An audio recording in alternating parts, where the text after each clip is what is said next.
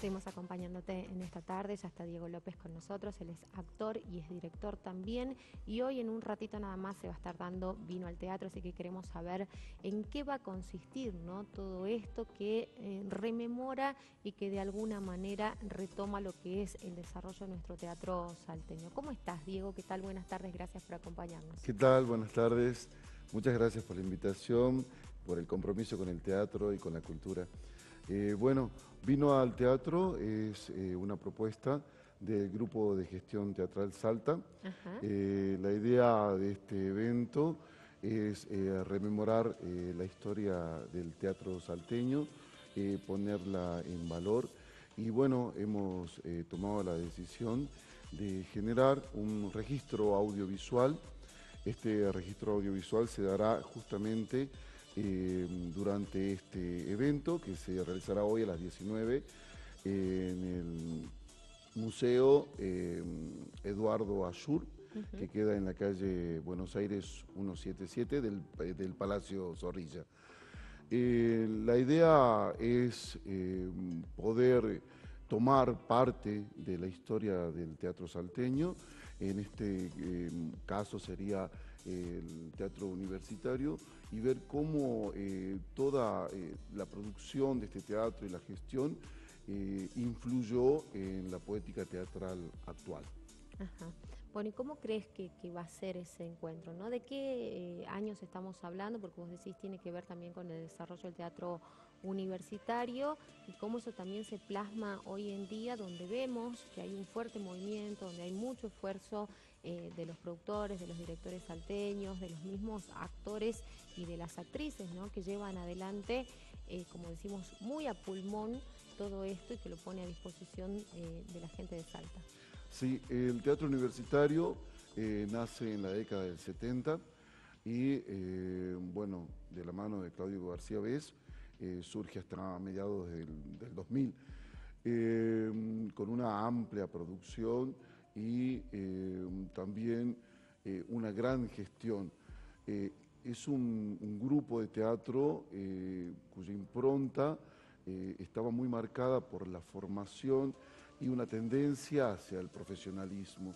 Entonces creemos que esos valores son los que de algún modo se instalaron en la comunidad teatral salteña y son los que dan el origen a tanta producción. Qué bueno. ¿Y qué crees que, se rescata ¿no? de, esa época? Vos decís un poco eh, lo que tiene que ver con la profesionalización. Ahí tenemos justamente algunas de las imágenes de esto, imágenes en blanco y negro. Estamos hablando de la década del 70, como decía Diego, como refería recién, ¿no? con el nacimiento también de nuestra universidad pública. Eh, y un contexto también eh, muy difícil de desarrollarse porque todos conocemos que en la historia argentina la década del 70 no ha sido de las más fáciles en el, devenir de nuestro país, ¿no?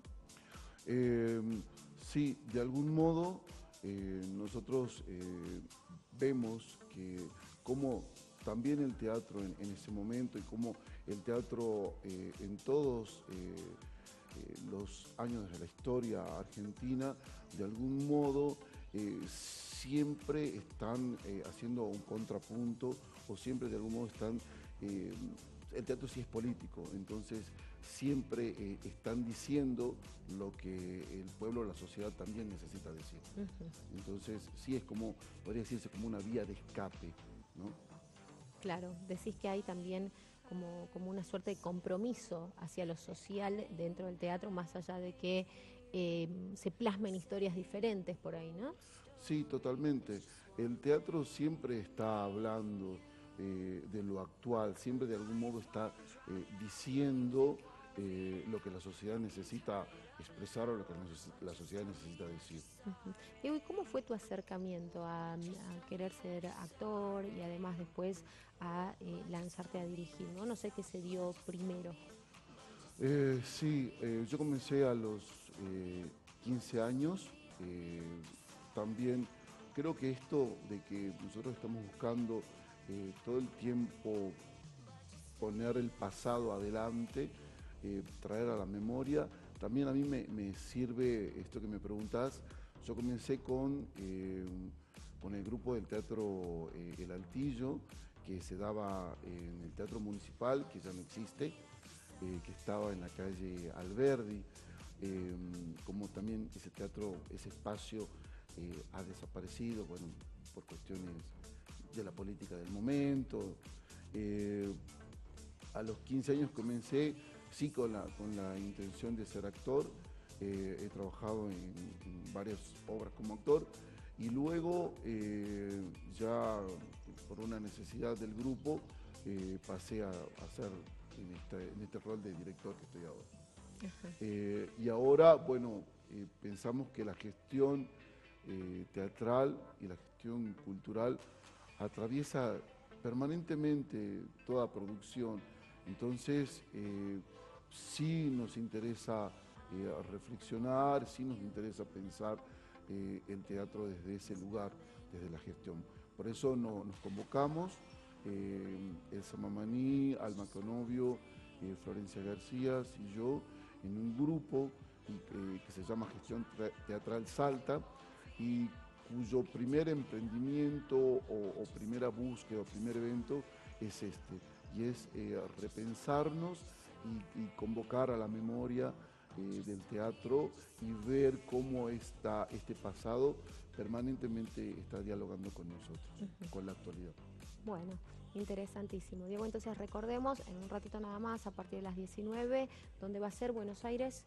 Buenos Aires 177, eh, este conversatorio va a estar, eh, va a estar guiado por José Luis Valenzuela, que eh, llegó a Salta desde el Chaco. José Luis Valenzuela es salteño, pero es un docente que se ha radicado en otras provincias, ahora está en el Chaco es eh, para nosotros un prestigioso maestro y él va a ser el encargado de eh, coordinar este conversatorio que tiene como invitados a Claudio García Vez, Claudio García Vez, Claudio García Vez, perdón, eh, Marcela Sosa y Graciela Balestrino, que son docentes de la Universidad de Salta.